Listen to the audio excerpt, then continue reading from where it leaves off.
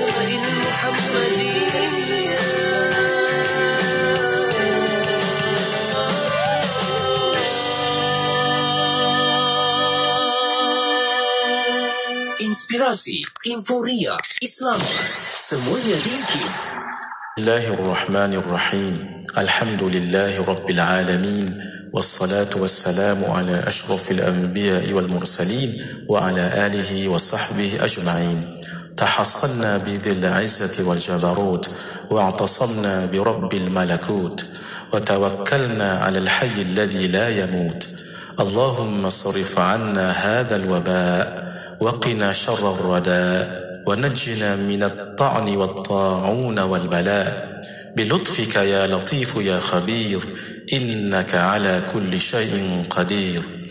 اللهم يا دافع البلاء يا الله يا دافع البلاء يا رحمن يا دافع البلاء يا رحيم. ادفع عنا البلاء والوباء والغلاء والزلازل والمحن والفتن ما ظهر منها وما بطن. وصلى الله على سيدنا محمد وعلى آله وصحبه أجمعين والحمد لله رب العالمين Dengan nama Allah yang maha pemurah lagi maha mengasihani. Segala puji bagi Allah, Tuhan sekalian alam. Selawat dan salam kepada junjungan besar Nabi Muhammad sallallahu alaihi wasallam dan kepada ahli keluarga dan sahabat baginda sekalian. Kami berlindung dengan ya Allah, Tuhan yang memiliki keagungan dan kekuasaan. Kami berpegang teguh pada ya Allah, Tuhan pemilik sekalian alam ghaib. Dan kami bertawakal kepada ya Allah, Tuhan yang hidup lagi tidak mati. Ya Allah, jauhkanlah kami daripada wabak ini dan ta'un dan bala bencana. Kami mohon dengan ihsanmu, wahai Tuhan yang maha lemah lembut, lagi maha menguasai. Sesungguhnya dikau maha berkuasa di atas segala sesuatu. Wahai Tuhan yang berkuasa menolak bala, Ya Allah, Ya Allah, Tuhan yang berkuasa menolak bala, Wahai yang maha pengasih. Ya Allah, Tuhan yang berkuasa menolak bala, Wahai yang maha penyayang. Lindungilah kami daripada bala, wabak penyakit, kesempitan hidup, gempa bumi, mehnah dan fitnah, baik yang nyata maupun yang tersembunyi. Wa sallallahu ala sayyidina Muhammad wa ala alihi wa sahbihi ajma'in. Walhamdulillahi rabbil alamin. Allahumma barik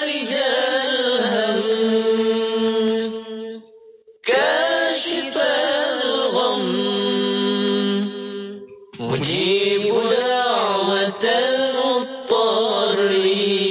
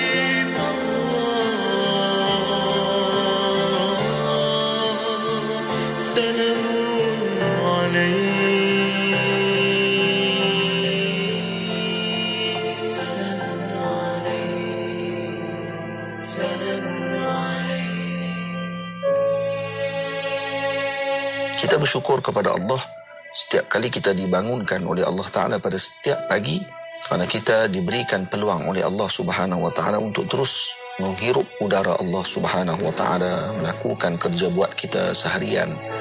Tapi orang yang diberikan berkat oleh Allah kehidupannya adalah untuk mencapai kepada kematiannya yang menyebabkan dia akan diberikan nikmat oleh Allah.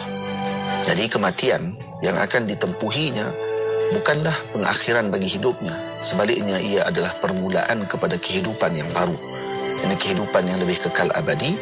Maka seorang yang mengejar kehidupan yang tidak kekal, meninggalkan kehidupan yang kekal, maka ini adalah orang-orang yang sebenarnya mereka lah yang ke belakang sebenarnya. Maka orang-orang yang mengingati mati, hakikatnya mereka mengingati untuk berada dalam kehidupan yang kekal setelah kematian tersebut. Kita beradab mudah-mudahan dengan adab ini menjadi jalan untuk kita semakin dekat dengan Allah. Bahkan kita kena ingat ketika kita cuba beradab dengan adab yang terbaik sebenarnya kita sedang mengikuti jalan dan adabnya baginda Nabi sallallahu alaihi wasallam dan ia adalah jalan untuk kita semakin dekat kepada Rasulullah sallallahu alaihi wasallam dengan mengamalkan segala adab-adab yang dianjurkan di dalam Islam. Pelajari dan jalani kehidupan yang diselami adab dan etika baginda Rasulullah sallallahu alaihi wasallam menerusi rancangan Bicara Adab bersama Afadil Ustaz Ahmad Salahuddin Harun setiap Selasa 9 malam hanya di IKIM Inspirasi Inforia Islami. Vaksin tidak sama semua eh okey? Kita ada lebih kurang dalam 100 vaksin yang masih dalam pasaran sekarang. Ada yang baru stage 2 ada yang baru stage 3 dan sebagainya. Cuma yang saya nak maklumkan sekarang vaksin yang FDA approve sekarang ada dua iaitu Moderna dan Pfizer. Pfizer tu kalau kita tahu dua orang saintis daripada Turki yang berpengkalan di Jerman Muslim eh. Mereka menggunakan satu teknologi yang baru eh. Dia berbeza dengan teknologi-teknologi vaksin sebelum ni. Contohnya macam kita kata China Sinovac eh. Mereka menggunakan virus vector. Virus vector maknanya macam mana mereka menggunakan sebahagian daripada bahan daripada kuman itu menggunakan uh, virus yang selamat daripada kalangan coronavirus juga iaitu influenza virus virus vector itu untuk bawa mesej itu masuk ke dalam badan supaya memberitahu pada imun sistem kita ini untuk bereaksi kepada kuman tu dan mengeluarkan immunoglobulin yang cukup untuk boleh mengawal jangkitan. Itu adalah Sinovac China eh kita panggil eh. Tetapi teknologi yang lebih moden dan lebih maju daripada itu ialah menggunakan mRNA iaitu messenger RNA. Messenger RNA ini dia bukan merupakan satu jenis kuman, dia hanya merupakan protein eh, protein coding eh. mRNA ini sebenarnya dia bukannya bukannya living pun, dia tak dia tak hidup eh. Tetapi mRNA ini apabila diberikan kepada badan, badan akan ambil mRNA ini dan sel kita sendiri dalam cytoplasma kita akan mengambil mRNA ini dan interpret mRNA itu, message tu diinterpret sehingga mengeluarkan satu S-spike protein dia panggil eh. Protein S. Kalau kita tengok coronavirus semua orang kenal sekarang ni dia ada di, di, di, dia punya ujung tu ah dia panggil S protein eh, spike protein eh. Ah, spike protein ni lah dikeluarkan oleh tubuh badan kita sendiri daripada messenger RNA yang dapat dalam vaksin tu yang dimasukkan ke dalam badan kita dan melalui penularan spike protein yang tubuh kita sendiri buat dalam badan kita ni maka immunoglobulin kita akan respon immune respon dalam badan ni ada dua bentuk. Satu dipanggil humoral ataupun B cell mengeluarkan immunoglobulin. Satu dalam bentuk memory cell ataupun T cell yang akan mengeluarkan memori jadi walaupun misal kata uh, kajian menunjukkan bahawa uh, immunoglobulin dalam badan tu hanya bertahan selama 6 bulan hingga setahun saja tetapi kita masih ada T cell dalam badan sebagai memori. Sehingga jika sekiranya walaupun immunoglobulin itu telah turun jika kita terdedah kepada kuman COVID-19 maybe one year later ke dan sebagainya T cell kita akan activate balik kita punya B cell untuk mengeluarkan semula immunoglobulin itu sebab kita dah ada memori dalam badan kita jadi tempoh setahun itu setidak-tidaknya akan mampu untuk menjadi circuit breaker eh, untuk kita kawal uh, penularan masyarakat dan capai satu herd immunity di mana kawalan sepenuhnya boleh dicapai Petikan dari Slot Kesihatan bersama tetamu Profesor Dr. Amaluddin Ahmad. Radio IKIM membawa kepada anda lagu-lagu nasyid terbaik di Malaysia. Aku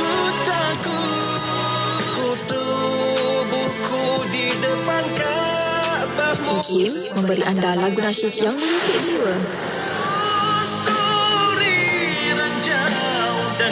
IKIM, inspirasi Inforia Islami.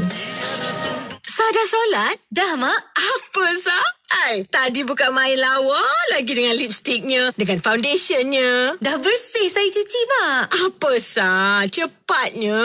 Jangan buat main-main lah. Tak sah wuduk nanti. Mak, Sa kan pakai Nuraisa. Nuraisa ni kan kosmetik mesra wuduk. Senang nak bersihkan dan nak tanggalkan. Apa, Sah? Nuraisa lah, Mak. Nuraisa.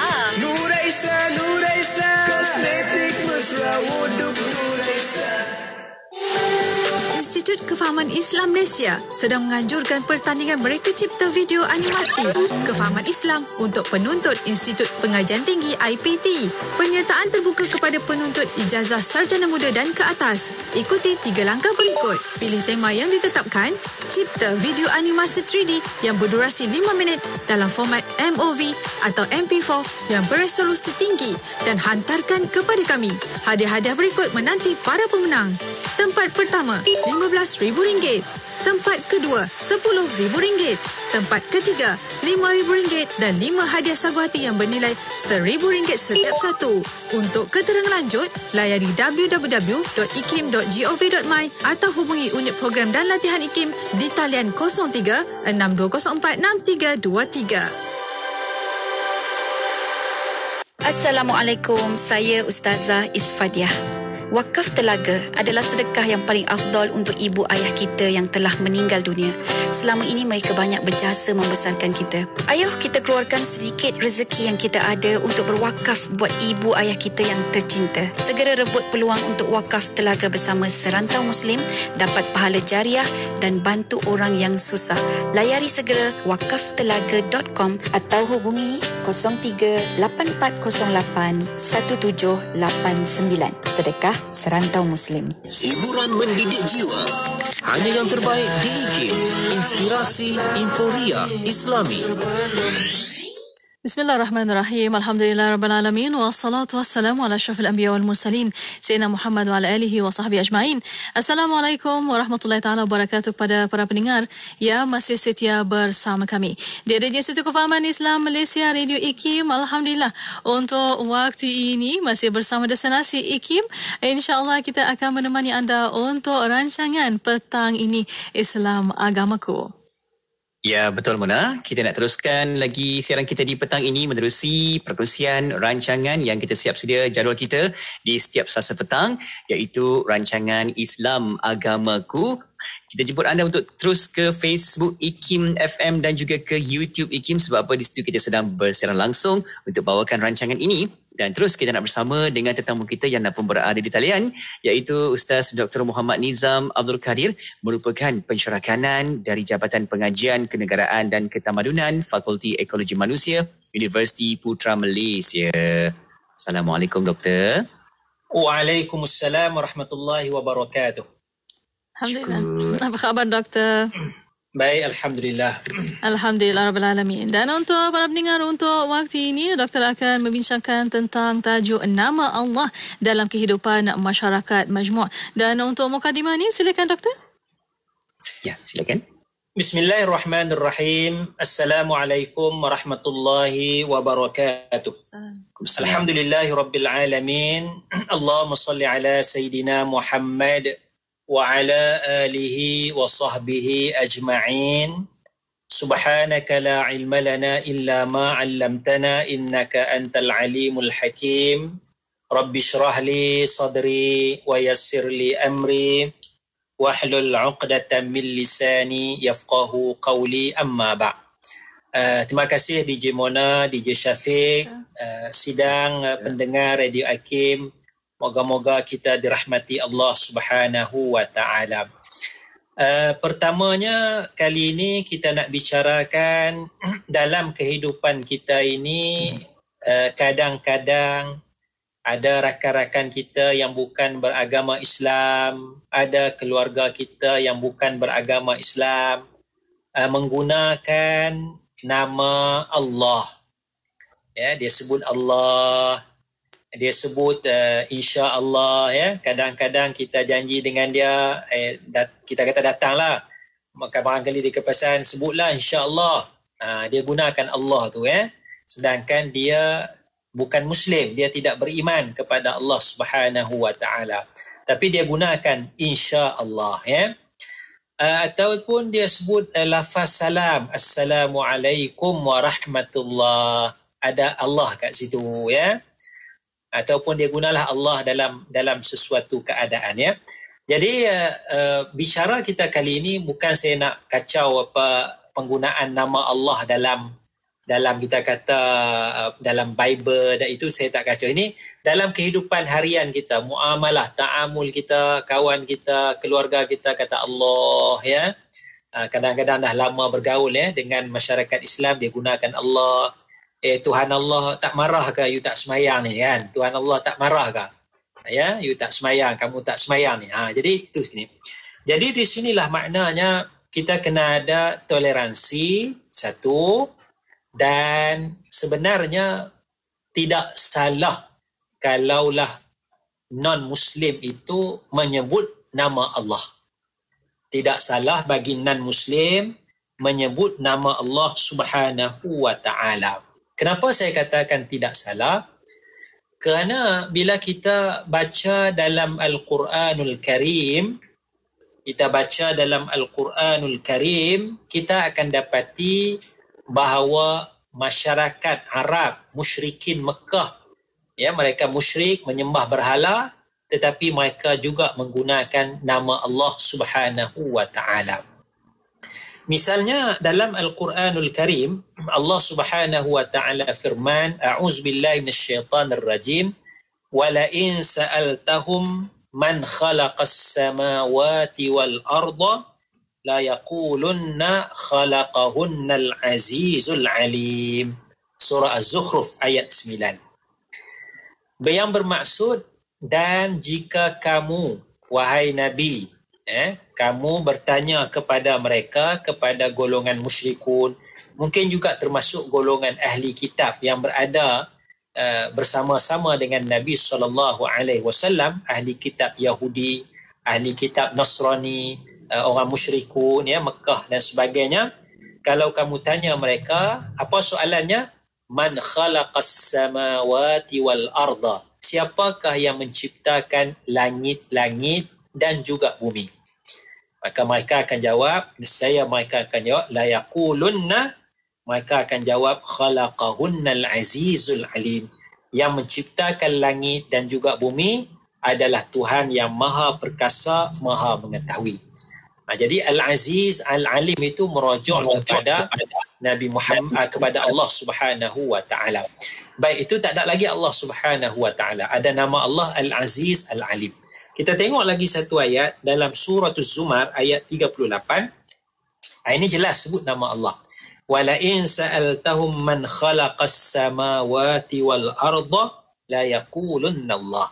Kalau kamu tanya kamu wahai Nabi Muhammad sallallahu alaihi wasallam bertanya kepada mereka orang musyrikun orang ahli kitab dan sebagainya siapakah yang menciptakan langit dan bumi nescaya mereka akan jawab Allah ha, jadi maknanya satu pengiktirafan daripada dalam Al-Quranul Karim bahawa orang musyrikun sebut nama Allah ya la yaqulu. Mereka kata yang menciptakan tu adalah Allah.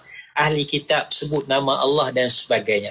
Jadi dalam ta'amul interaksi harian kita ini berdasarkan ayat Al-Quranul Karim tidak ada masalah kalau dia nak guna nama Allah, dia nak kata insya-Allah ya. Ah, kadang-kadang dia nak sebut alhamdulillah segala puji bagi Allah. Memang memang betul. Walaupun dia belum beriman tapi memang betul. Segala puji itu hanya milik bagi Allah Subhanahu wa taala ya. Dia nak mengungkapkan kebesaran sesuatu perkara sebut Allahu akbar kerana dia dah biasa dengan masyarakat Islam ya. Ha, jadi uh, pengaruh perkataan itu uh, masuk dalam dalam apa kosakata seorang dan muslim itu. Jadi sini maknanya kita bertoleransi tak perlulah kita nak marah dia, tegur dia, tetapi dia menjadi satu pembuka bicara ke, kepada kita muslim dengan non muslim tadi. Ya, awak sebut Allah Allah ni awak kenal dah Allah. Boleh tak saya perkenalkan Allah ni siapa kepada kamu? Kamu disebut alhamdulillah kamu duk kata insya-Allah ni dia boleh membuka uh, jalan untuk kita berbicara lebih lanjut tentang Allah sebagai Tuhan sekalian alam ya. Ha, jadi secara asasnya tidak ada masalah untuk mereka sebut Allah, Allah dan sebagainya. Wallahu a'lam. Allah Allah itu dia eh dalam sebutannya pasti ada hikmah masya-Allah dan kita pun boleh sama-sama mengguna pakai eh namanya semoga itu juga akan menghadirkan hidayahnya lagi tu kepada orang lain juga insya-Allah. Mula? Ya, insya-Allah. Alhamdulillah. Dan untuk waktu ini ya, kita akan berehat seketika. Kita akan kembali selepas ini. Untuk anda uh-huh. kalau ada soalan pertanyaan boleh hantarkan melalui WhatsApp konti 011290400404 dan juga boleh tinggalkan di FB Live Ikim FM di YouTube Ikim Media. So setia bersama kami berehat seketika kembali selepas ini.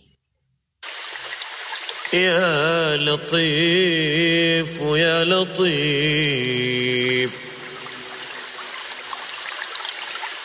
يا لطيف يا لطيف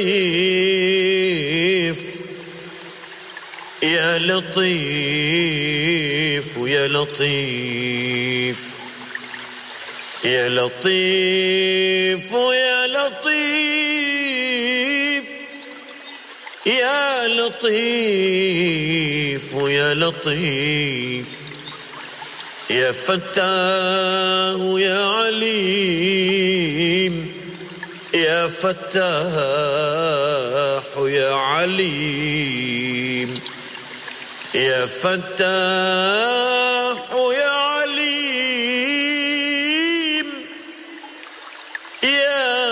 الفتاح يا عليم. يا لطيف يا لطيف. يا لطيف يا لطيف. بسم الله والحمد لله والصلاة والسلام على رسول الله.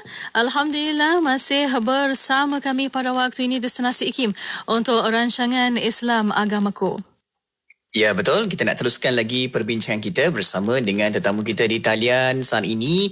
Alhamdulillah kita ada Ustaz Dr. Muhammad Nizam Abdul Kadir merupakan pensyarah kanan dari Universiti Putra Malaysia dan kita nak sambung lagi dengan tajuk kita nama Allah dalam kehidupan masyarakat kita ni. Okey.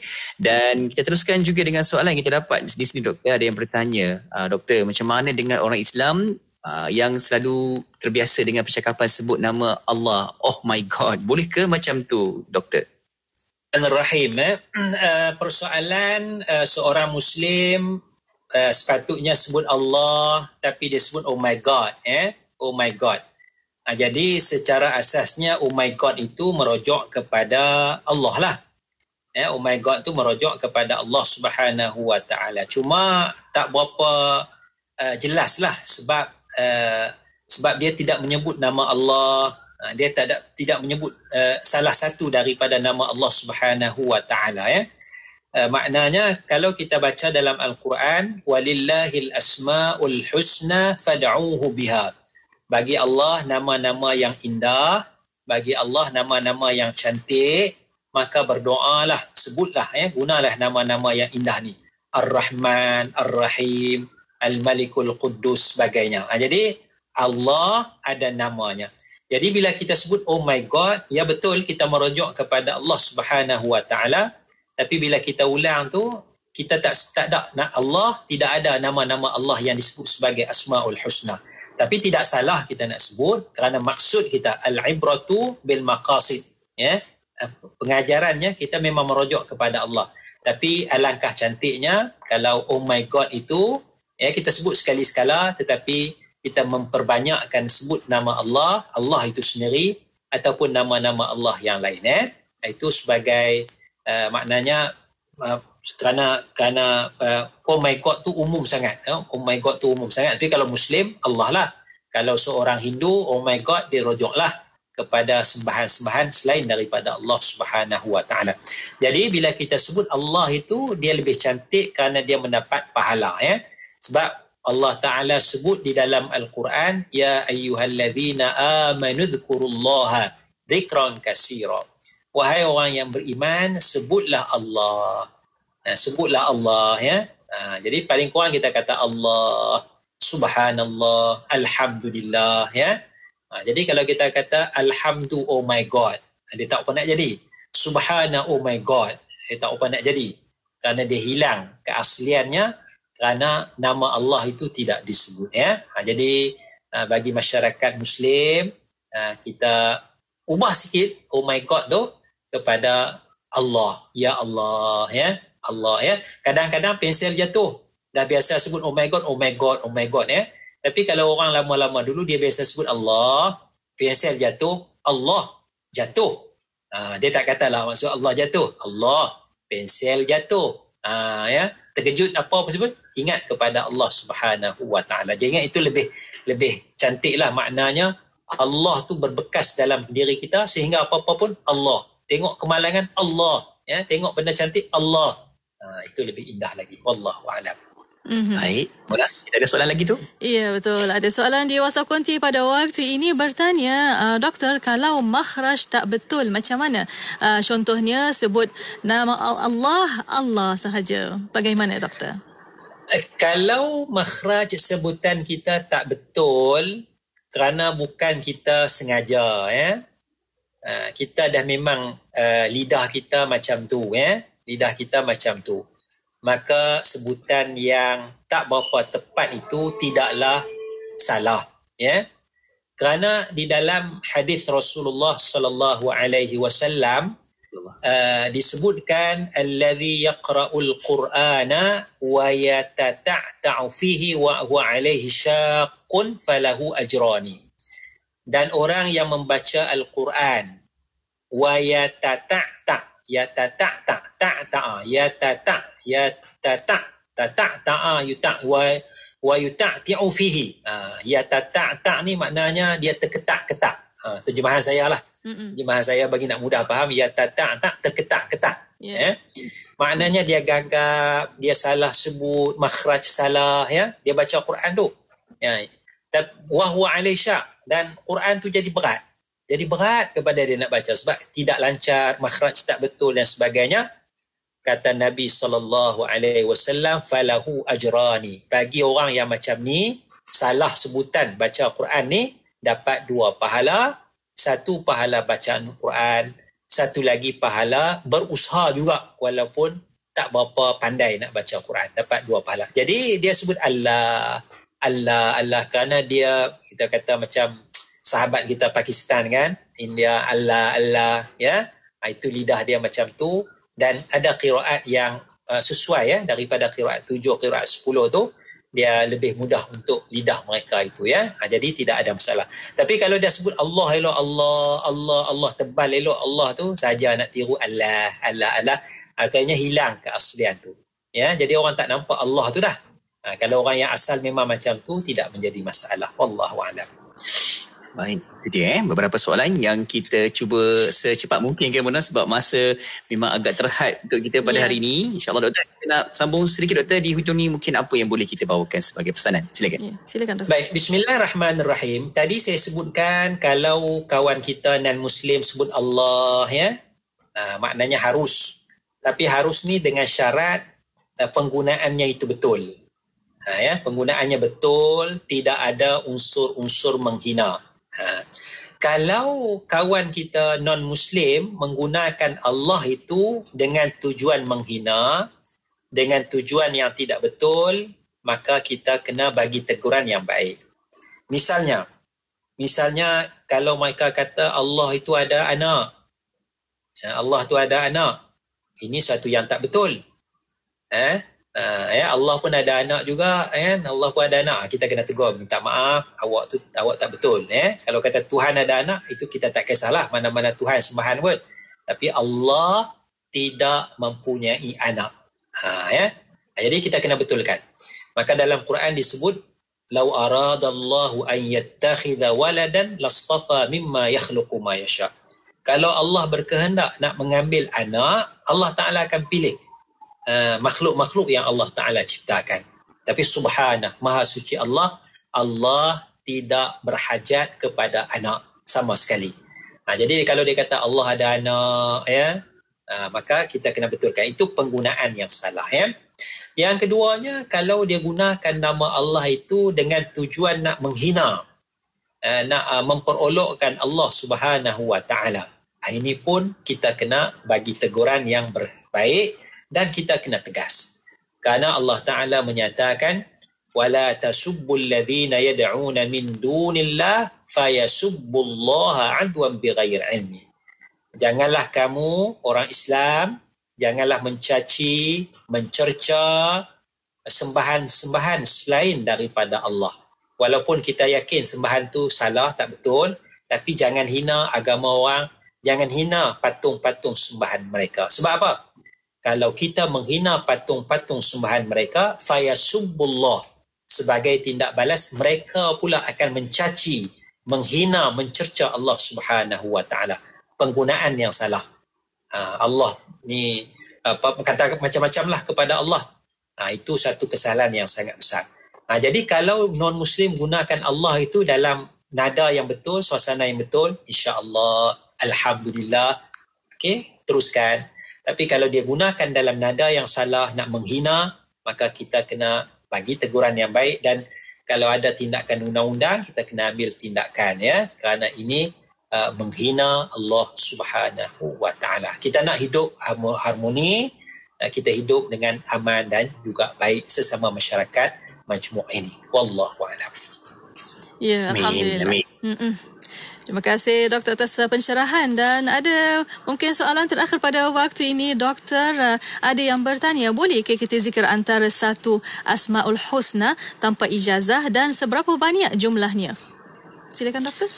Zikir uh, asmaul husna uh, zikir asmaul husna uh, disebut di dalam hadis ya inna lillahi uh, mi'at mi'atun tis'atan wa tis'ina illa wahidan hmm. ya bagi Allah Subhanahu wa taala uh, uh, apa ni uh, 99 100 melainkan satu mana 99 nama hmm. faman ahsaha dakhala al jannata maka sesiapa yang membilang-bilang nama Allah yang 99 ini hmm. maka ganjarannya dia akan masuk syurga. Yeah. Ha, jadi kalau kita ulang Ar-Rahman Ar-Rahim Al-Malikul Quddus Salam ahsa bilang. Uh, maksud bilang ni maknanya kita menghayati sifat-sifat nama-nama Allah ni. Allah bersifat Ar-Rahman, kita pun bersifat kasih sayang. Allah bersikap Wahab, Razak, Maha memberi rezeki, kita pun suka memberi. Ya, Allah ini An-Nafi' yang memberi manfaat kita pun berusaha memberi kebaikan kepada masyarakat. Kita menghayati nama-nama Allah Subhanahu wa taala tu. Jadi ada beberapa tafsiran para ulama ya. Kita hafal, eh, senang je masuk syurga hafal. Orang yang boleh hafal nama Allah ni Sudah tentu orang ni beriman, orang ni orang semayang. Kalau orang ni tak semayang, susah dia nak hafal nama Allah Subhanahu wa taala ya. Itu cara mudah kita faham ya. Orang yang menghayati sifat sifat Allah ni sudah tentu orang ni semayang, orang ni rajin baca Quran dan sebagainya ya. Nah, jadi kalau kita ulang tu, ulang tu, ah, itu disebut dalam hadis faman ahsaha dakhalal jannah. Siapa yang ulang-ulang membilang, menghayati sifat-sifat nama-nama Allah, ganjarannya dia akan masuk ke dalam syurga. Jadi kalau kita sebut satu pun tak apa, ya Razak. Sebut satu je, ya Razak, ya Razak, berilah rezeki kepadaku. Ya. Nah, maknanya itu tawassul dengan nama Allah Subhanahu wa taala. Walillahil asmaul husna fad'uhu biha. Bagi nama Allah nama-nama yang indah, doalah guna nama-nama yang indah. Jadi bila minta rezeki, ya Allah bagilah rezeki, sebut nama Allah, ya Razak, Ya Wahab, Ya Razak, Ya Wahab, Ya Razak, Ya Wahab, bagilah rezeki kepadaku. Bila minta keampunan, Ya Allah, ampunilah dosa aku. Sebut nama Allah, Ya Ghafur, Ya Ghaffar, Ya Ghafur, Ya Ghaffar, Ya Ghafur, Ya Ghaffar, ampunilah dosa-dosa aku. Bila minta rahmat, ya, ya, ya Allah, rahmatilah aku. Sebut Ya Rahman, Ya Rahim, Irhamni, Ya Rahman, Ya Rahim, rahmatilah aku. Ha, begitulah maknanya kita berdoa ulang-ulang sebut nama Allah Subhanahu wa taala. Wallahu a'lam. Alhamdulillah. Allahu akbar. Insya-Allah. Terima kasih doktor atas uh, pencerahan dan uh, itu saja yang kita ada pada petang ini bersama doktor dan uh, tinggal sedikit masa lagi doktor untuk kesimpulan dan kata-kata akhir silakan. Uh, Bismillahirrahmanirrahim. Asas perbincangan kita pada hari ini uh, kalau non muslim gunakan nama Allah dalam suasana yang baik uh, maka tidak menjadi masalah kita raikan ya tapi kalau dia gunakan nama Allah itu dalam suasana menghina mencerca nama Allah maka menjadi kewajipan kepada kita untuk memberi nasihat membetulkan apa ni apa apa nada menghina terhadap nama Allah Subhanahu wa taala. Sama juga ya. Kalau kita sebut uh, sembahan-sembahan orang bukan muslim, kita sebut dengan nada menghina, sudah tentu non muslim akan marah, ya. Uh, maka kita juga menghormati, ya.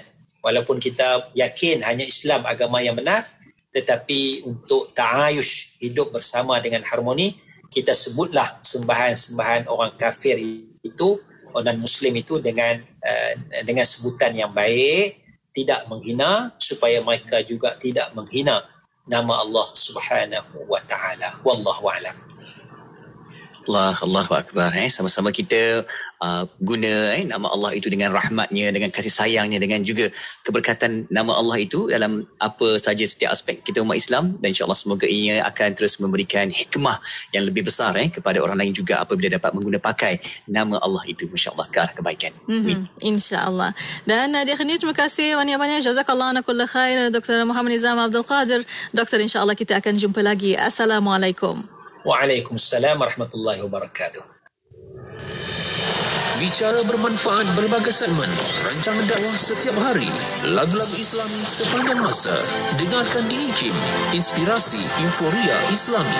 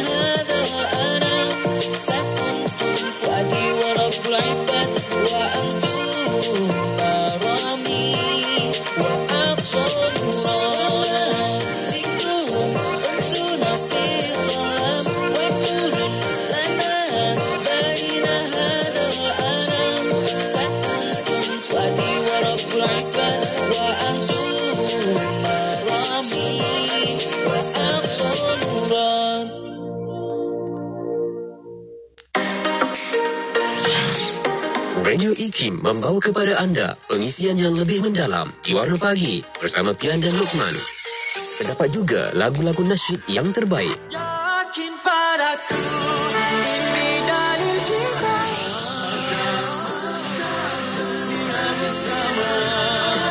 Terus setia bersama IKIM, inspirasi euforia Islami.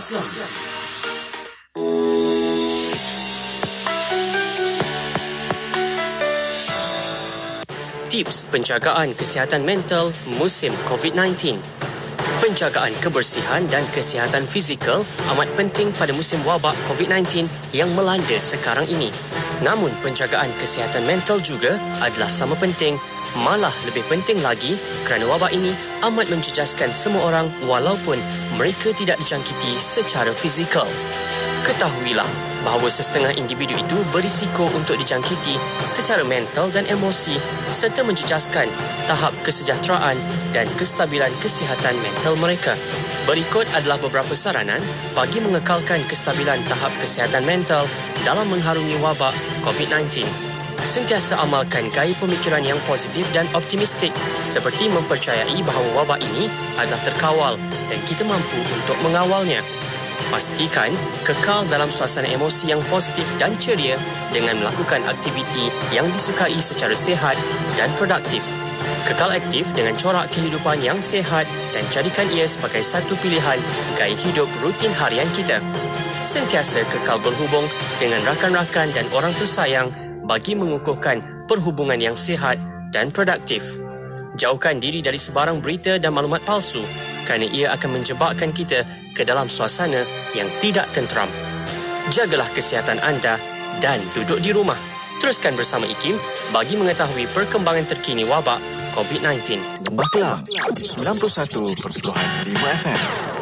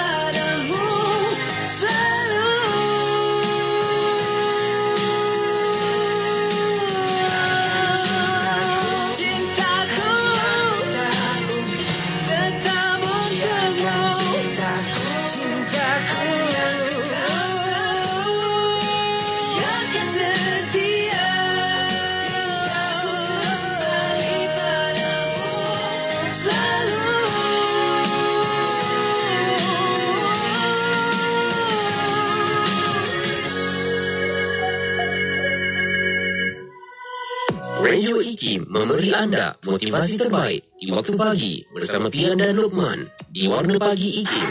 Bila kita tengah rasa ada masalah, kita serabut, apa yang kita buat? Ha, eh, apa yang kita buat? Kita nak fokus pada masalah kita tadi tu. Ya, kita nak besarkan, nak besarkan, nak besarkan masalah tu kan duk fikir masalah ataupun kita nak banyakkan doa dan minta supaya Allah berikan jalan keluar yang terbaik untuk masalah kita. Setiap Isnin hingga Jumaat 6 hingga 10 pagi diiringi dengan lagu-lagu nasyid terbaik di Malaysia.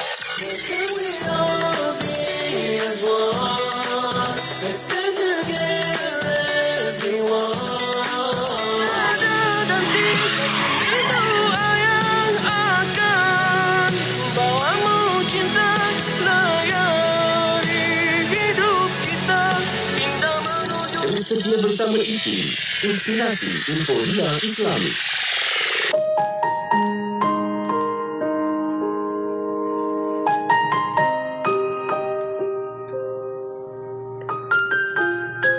Hidup bertetangga, jaga menjaga. Bertegur sapa bermanis muka, jauhkan sifat berburuk sangka. Jadikan mereka bagai keluarga. Hidup berjiran, hormat menghormati. Bergaul dengan berbudi bekerti. Jauhkan sifat dengki mendengki. Bertegur sapa, bertelus hati. Dengan tetangga baikkan laku. Sakit senang, bantu membantu. Tetangga datang bukakan pintu.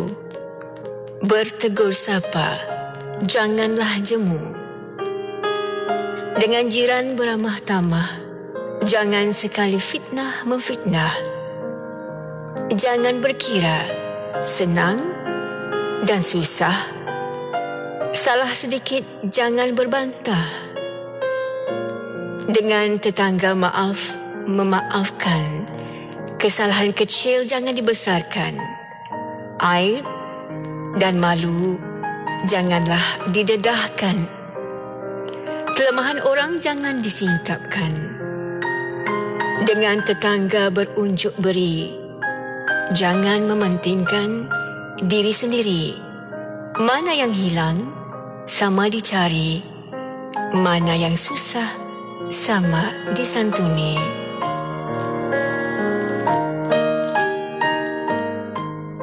Dipetik daripada buku Kesantunan dan Semangat Melayu karya Tenas Effendi. Kata orang jika ingin melihat kebersihan peribadi seseorang, lihat tandas di rumahnya. Begitu juga tandas awam.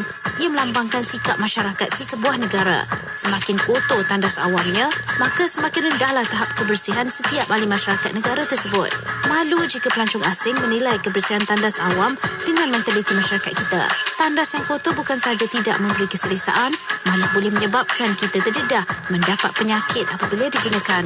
Bukannya sukar menjaga kebersihan, guna peralatan tandas dengan betul dan buang sampah ke dalam tong sampah dan jangan sesekali merosakkan atau menyalahgunakan tandas awam. Elakkan menjadi negara berinfrastruktur kelas pertama tetapi minda masyarakatnya masih di kelas ketiga.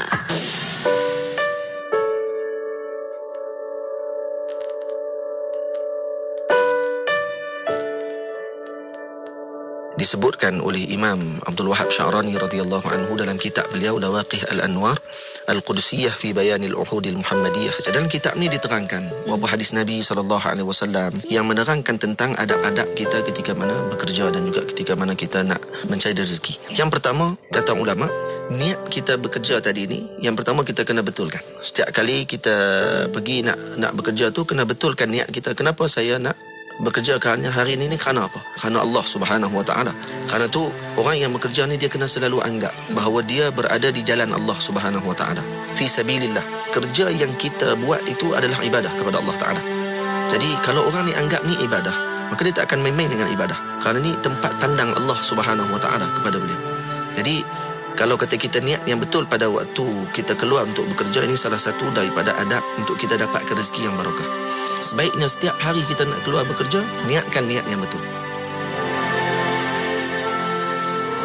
Bulan Ramadan, bulan yang mulia. Perbanyakkanlah amalan mulia. IKIM akan melancarkan dua buah buku baharu, Madrasah Ramadan, pengajaran dari pelbagai dimensi dan Madrasah Ramadan, iktibar sepanjang masa. Antara isu yang dikupas adalah kesihatan, akhlak manusia, disiplin, kekuatan rohani dan jasmani. Pelbagai iktibar yang boleh kita pelajari. Potongan harga 20% untuk sebuah buku dan potongan harga 40% bagi pembelian kedua-dua buku. Tempah segera.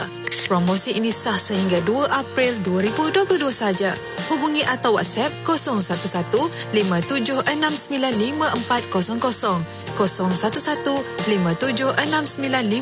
011-57695400 atau layari www.ikimniaga.my untuk maklumat lanjut. Berita terkini, jadikan syarikat anda seorang kini dalam enjin carian di internet dengan penajaan program Radio IKIM tahun 2022. Antaranya, Kadang-kadang kita menafikan kemanusiaan langsung sedangkan Islam tidak menafikan kemanusiaan. Untuk L, Alif, Ya, Lam, pengisian program bermutu, ilmuwan jitu dan gabungan mantap. Satu ilmu yang Allah rezekikan kepada kita. Itu saya yakin. Hubungi ya. 017-345-2564 atau 012-686-9236 hari ini. Jangan anda terlepas. Tarikh tutup permohonan pada 16 hari bulan setiap bulan. Sedekah merupakan amalan yang paling dituntut dalam Islam. Ayuh kita berinfak melalui kempen infak telaga Kemboja oleh Pertubuhan Ar-Rashid. Pertubuhan ini telah berjaya membantu ramai umat Islam di Kemboja yang tiada akses air bersih. Mereka sangat memerlukan bantuan anda. Bantulah menyumbang di www.infaktelagaarrashid.com. Saya ulang di www.infaktelagaarrashid.com. Insya-Allah pahala dan rezeki yang berkekalan menanti anda kelak. Bukan kata tak boleh rasa diri baik, tapi berhati-hatilah dengan tipu daya syaitan. Bila sebaik kita baca satu juzuk Al-Quran, tiba-tiba kita yang menerima amalan kita sendiri. Kita rasa kita solehah lepas tu. Kita rasa kita lebih baik daripada orang yang tak baca walaupun satu muka surat. Tiba-tiba lidah kita yang baru habis satu juzuk Al-Quran. Kita pun bertanya kepada suami di sebelah, awak berapa muka surat hari ini baca Quran? Saya dah habis dah satu juzuk. Subhanallah. Na'udzubillah min zalik. Rupanya satu juzuk yang dibaca itu bukan menambahkan iman dia, bukan menambahkan lidahnya menjadi akhlak yang mulia, tetapi dia mengeluarkan kata-kata yang ada unsur riak, ada unsur takabur dengan satu juzuk yang dia baca pada saat itu. Manakala mungkin suami yang dipeli itu pula bertukar dapat pahala. Sebab pahala sabar dipeli isteri yang baca satu juzuk Al-Quran dan dia tak baca walaupun suatu muka surat. Berhati-hatilah kita. Sebab itu para ulama berpesan, kadang-kadang dengan satu istighfar perlu disusuli dengan istighfar yang lain. Kerana mungkin istighfar pertama dengan rasa ujub. Kemudian istighfar kedua, ujub lagi. Susuli sehinggalah hilang penyakit-penyakit yang boleh merosakkan istighfar kita tu. Pelihara diri, didik hati, tarbiyah usah berhenti. Terus dengarkan Ikim menerusi perkongsian tarbiyah setiap hari Jumaat pada pukul 10 pagi. Tentunya hanya di Ikim Inspirasi Inforia Islami.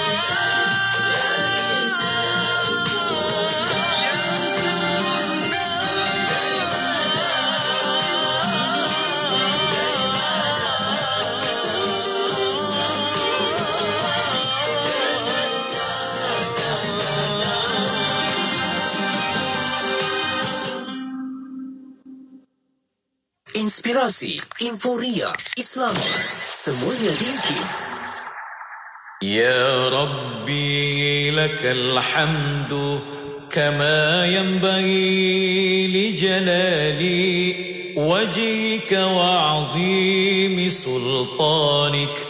يا ربي لك الحمد كما ينبغي لجلال وجهك وعظيم سلطانك. يا ربي لك الحمد كما ينبغي لجلال وجهك وعظيم سلطانك. يا ربي لك الحمد كما ينبغي لجلال وجهك وعظيم سلطانك. يا ربي لك الحمد كما ينبغي لجلال وجهك وعظيم سلطانك. يا ربي لك الحمد كما ينبغي لجلال وجهك وعظيم سلطانك. يا ربي لك الحمد كما ينبغي لجلال وجهك وعظيم سلطانك. يا ربي لك الحمد كما ينبغي لجلال وجهك وعظيم سلطانك. اللهم إنك تعلم أن هذه القلوب قد اجتمعت على محبتك والتقت على طاعتك وتوحدت على دعوتك. وتعاهدت على نصرة شريعتك. فوثق اللهم رابطاتها وأدم ودها واهدها سبلها واملأها بنورك الذي لا يخبو. واشرح صدورها بفيض الإيمان بك. Ya Allah engkau mengetahui hati-hati berkumpul kerana kasihkanmu Bertemu dan patuh padamu Bersatu memikul dakwamu Hati-hati ini telah berjanji setia Mendaulat dan menyokong syariatmu Maka eratkanlah akan ikatannya. Kekalkan kemesraan hati ini Tunjukkan ia jalan yang sebenar Limpahkan dengan cahaya Rabbanimu Yang tak pernah padam. Dan lapangkan dengan iman. Kuala Terengganu 100.2 FM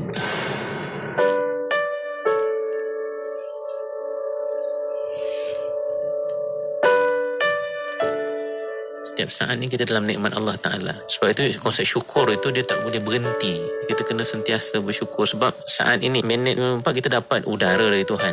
Kesihatan dari Tuhan. 5.55 Tuhan tambah lagi. Ada lagi udara yang Tuhan bagi. Dia berterusan. Yang itu pun kita kena syukur juga. Itu belum kita cakap lagi tentang nikmat-nikmat untuk esok lagi. Nikmat yang lebih besar yang Tuhan beri kepada kita. Jadi sebenarnya kita yang rasa malu. Bayangkan kalau kita ada seorang yang kaya, tiap hari dia bagi kita. Hari ni bagi kereta, esok bagi rumah banglut, esok lagi bagi jet peribadi.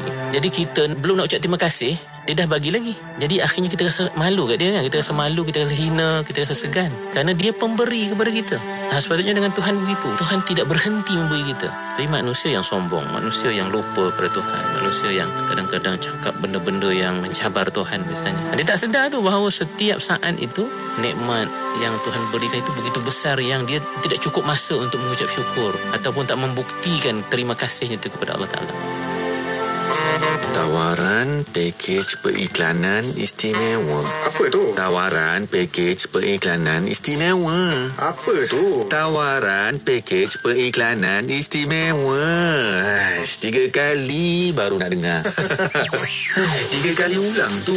Sempena ulang tahun IKIM yang ke-30, IKIM menawarkan pakej berganda sehingga tiga kali ganda kepada para pengiklan IKIM. Hubungi kami segera di talian 017 345 2564 atau 012 686 9236. Tawaran dalam tempoh yang terhad sehingga 30 April 2022 sahaja. Jimat berganda-ganda.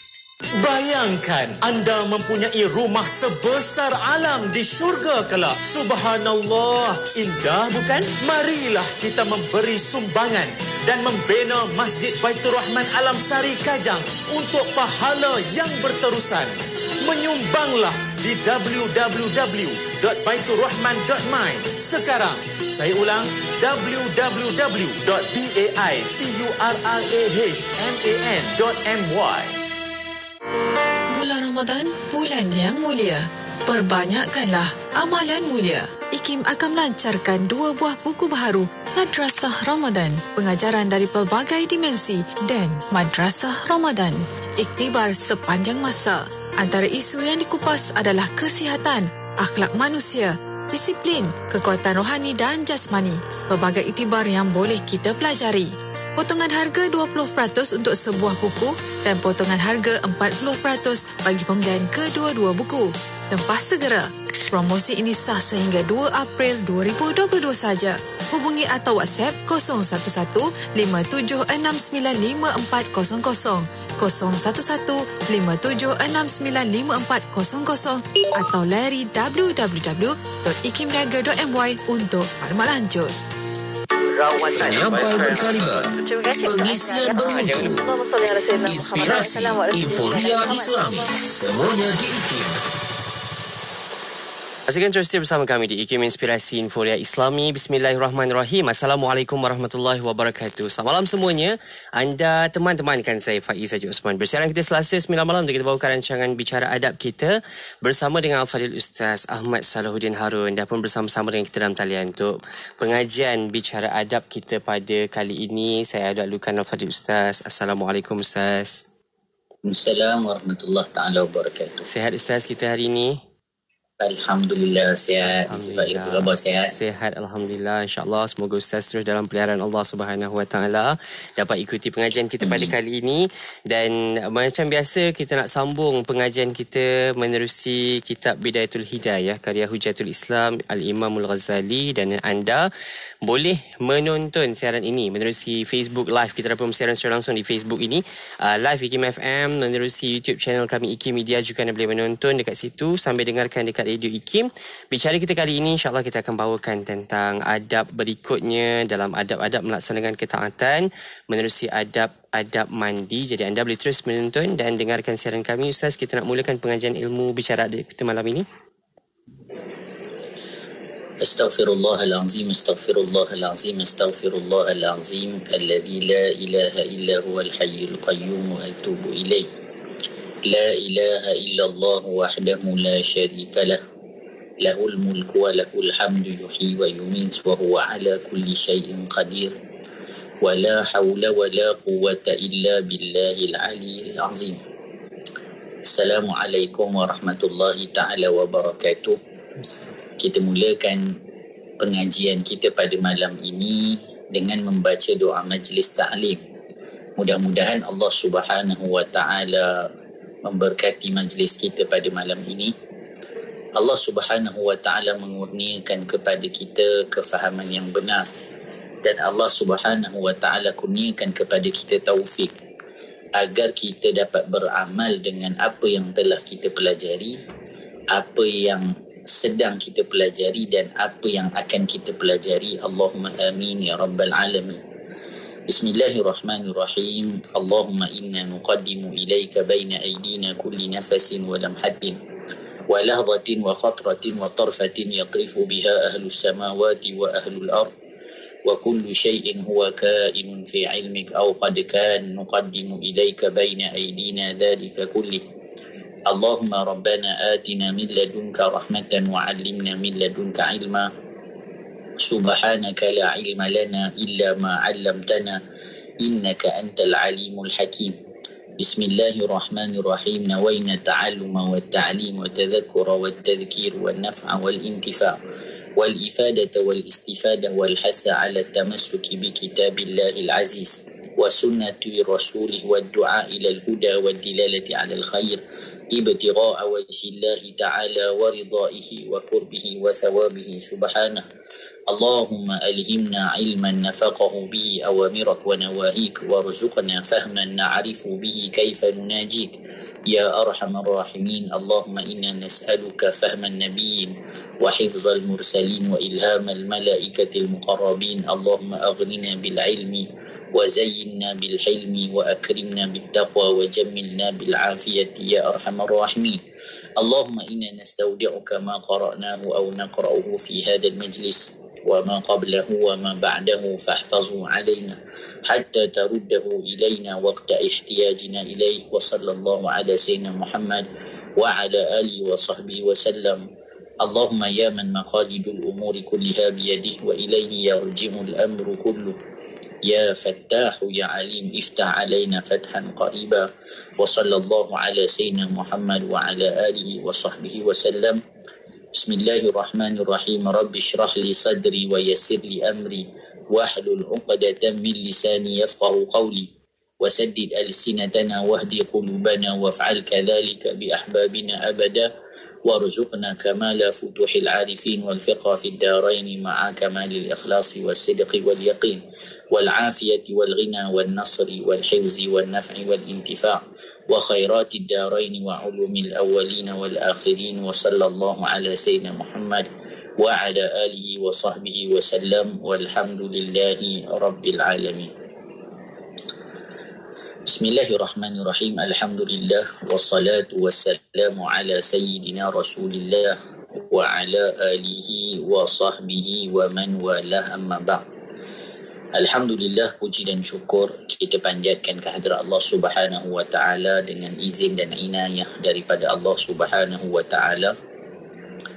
Pada malam ini kita dapat bertemu lagi dalam siri pengajian mingguan kita memperbahaskan kitab yang ditulis oleh Al-Imam Hujjatul Islam Al-Ghazali rahimahullahu taala mudah-mudahan kita mohon kepada Allah Subhanahu wa taala kita mendapat keberkatan daripada Al-Imam Al-Ghazali dan tulisannya dan kita dapat beramal dengannya dalam perjalanan kita menuju Allah Subhanahu wa taala. Allahumma amin ya rabbal alamin.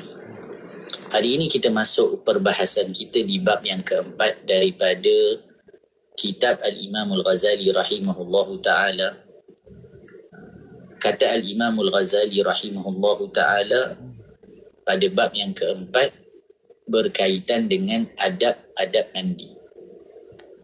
Telah kita bahaskan sebelum ini bicara berkaitan dengan wuduk. Bagaimana kita nak berwuduk dengan wuduk yang penuh dengan adab. Bahkan apa yang kita nak hadirkan ketika mana kita berwuduk supaya kita tidak lalai dalam wuduk yang sedang kita lakukan. Seperti mana kita sebutkan, kita kena fahami wuduk itu sendiri adalah ibadah. Bahkan kesempurnaan wuduk itu menjadi jalan untuk mendapat kesempurnaan di dalam sembahyang. Hari ini kita masuk pula ke satu lagi bab yang ia merupakan antara maqasid tahar. Tujuannya bersuci. Ha, iaitu mandi. Jadi pertamanya kita kena fahami mandi itu sendiri boleh jadi ibadah. Ha, bukan hanya bersejuk-sejuk, bukan hanya nak hilangkan bau badan, tetapi perbuatan mandi sahaja boleh menjadi ibadah yang diberi pahala oleh Allah Subhanahu Taala. Bahkan ada keadaannya nanti betapa pentingnya mandi sehingga kan seseorang itu mungkin-mungkin sahaja ibadahnya tidak sah kerana cara mandinya tidak benar. Ha, sampai sedemikian. Jadi perkara-perkara ini ada kalanya dianggap remeh. tetapi sebenarnya memberi impak pada ibadah yang bakal dan akan kita lakukan bahkan yang telah kita lakukan Allahumma salli ala sayyidina Muhammadin wa ala alihi wa sahbihi wa barik wa sallim sebelum kita membicarakan tentang apa yang disebutkan oleh Al-Imam Al-Ghazali suka untuk kita memberikan sedikit uh, mukaddimah ataupun pemahaman berkaitan dengan mandi maka mandi dari sudut bahasa disebutkan mengalirkan air. Ha, mengalirkan air tu ha, dah dinamakan sebagai mandi dari sudut bahasa. Tetapi apa makna dari sudut syarak? Mandi dari sudut syarak maksudnya apa? Mengalirkan air ke seluruh anggota badan dengan niat-niat tertentu. Jadi kita fahami dengan makna mandi di sini yang ingin dibawakan oleh Al-Imam Al-Ghazali rahimahullah ta'ala lebih kepada kita sebutkan mandi wajib. Ha, jadi mandi ada kategori pula nanti. Oh mandi pun ada yang wajib, ada yang sunat. Ada. Ada yang wajib, ada yang sunat, ada yang harus. Ha, ada jenis-jenisnya. Maka bila disebut mandi, ha, maka maksudnya mengalirkan air ke seluruh anggota badan. Jadi bila sebut mandi wajib, mesti air itu sampai ke seluruh anggota badan. Bahkan tidak memadai dengan perkara tersebut. Perlu dihadirkan dengan niat. Jadi tengok, di sinilah untuk kita fahami betapa pentingnya niat dalam kehidupan seorang Muslim. Menjadikan satu amalan itu sah dengan niat, membezakan adat dan ibadat dengan niat. Bahkan mandi pun kena niat. Ha, cuma setiap mandi itu ada niatnya yang berbeza. Ha, saya selalu kalau bawa jemaah uh, umrah Faiz lalu kita ajar mandi sunat ihram. Ha, jadi kita kata sahaja aku mandi uh, sunat ihram kerana Allah Taala. Jangan tambah pula dua rakaat. Ha ada orang kan benda ni jarang kita buat. Sahih. Eh kadang sekali kita tambah pula sahaja aku mandi sunat ihram dua rakaat kerana Allah Taala. Ha macam mana kita nak sujud dalam bilik air tu Sahih ha, jadi mandi sendiri ada niatnya membezakan adat dan ibadah dan menjadikan perbuatan mandi itu sendiri berpahala inilah kita lihat dan kita nak tunjukkan betapa Allah Subhanahu Wa Taala rahmatnya kepada umat baginda Nabi kita buat perkara-perkara yang memang menjadi rutin kita pun dengan niat yang baik dan niat mengikuti junjungan besar baginda Nabi itu dapat pahala. Jadi nak dapat pahala ni kalau tahu cara banyak kita boleh dapat. Nak buat dosa ni sebenarnya susah. Kena nyorok-nyorok, kena takut dengan orang. Tapi ramai orang mengejar untuk melakukan perkara tersebut. Kerana tipu daya syaitan. Dan kerana mengikuti tuntutan hawa nafsu. Maka inilah yang cuba dibawa oleh Al-Imam Al-Ghazali dalam kitab Bidayatul Hidayah agar kita melakukan setiap perbuatan itu kerana Allah Subhanahu wa taala. Maka mandi ini merupakan amalan yang dianjurkan hmm, oleh syariat. Sama ada mandi itu mandi sunat, mandi wajib. Bahkan kalau kita membersihkan badan pun ia merupakan satu yang dianjurkan syariat. Kerana Allah Subhanahu wa taala menyukai orang-orang yang bersuci dan bersih. Dalam surah Al-Baqarah Allah menyebutkan innallaha yuhibbut tawwabin wa yuhibbul mutatahhirin. Sesungguhnya Allah menyukai orang-orang yang bertaubat dan menyukai orang-orang yang mensucikan diri. Maka kalau kita ni jenis suka bersih, suka mandi, kita niatkan kerana kerana Islam menyukai orang dalam keadaan bersih. Dapat pahala lah perbuatan kita tu. Tidaklah jadi abas, jadi sia-sia, jadi sejuk-sejuk saja. Ah, apa dalil dalil mandi ha, sebelum kita masuk perbahasan apa yang dibawakan oleh al-Imam Al-Ghazali rahimahullah Allah Subhanahu wa taala menyebutkan dalam surah Al-Maidah wa in kuntum junuban fattahharu dan jika kamu dalam keadaan junub maka bersucilah maksud bersuci di sini adalah adalah mandi ha.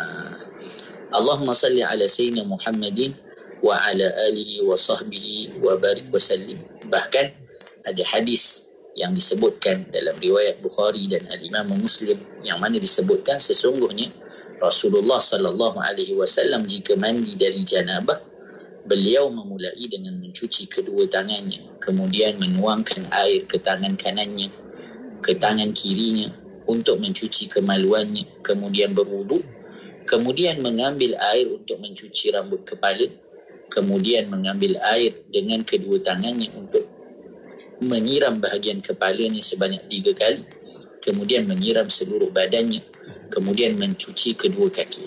Maka mandi adalah jalan untuk mensucikan diri daripada hadas. Ha, nak ibadah kita sah ketika mana kita berjunub ataupun kita melakukan perkara-perkara yang mewajibkan mandi ataupun menyebabkan kita berhadas besar maka perlu kepada kita mandi. Maka di sini Al-Imam Al-Ghazali nak ajarkan kepada kita sebahagian daripada adab-adab mandi yang boleh kita amalkan. Supaya tidaklah kita hanya mandi begitu sahaja. Bahkan mandi kita bila kita belajar dapat mengikuti cara mandi yang diajarkan oleh junjungan besar baginda Rasulullah sallallahu alaihi wasallam. Jadi memang memang betul. Maknanya kalau orang dia mandi je, rata air cukuplah. Hmm. Sahlah mandinya tu. Saya. Tetapi Nabi sallallahu alaihi wasallam ada aturannya yang diajarkan kepada kita melalui para ulama. Baik, kita tengok apa yang disebutkan oleh Al-Imam Al-Ghazali rahimahullahu taala.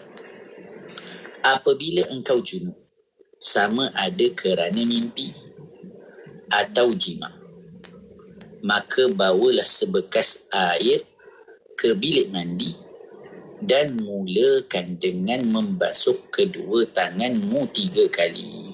Ha, jadi Al-Imam Al-Ghazali mulakan apabila engkau berada dalam keadaan junub.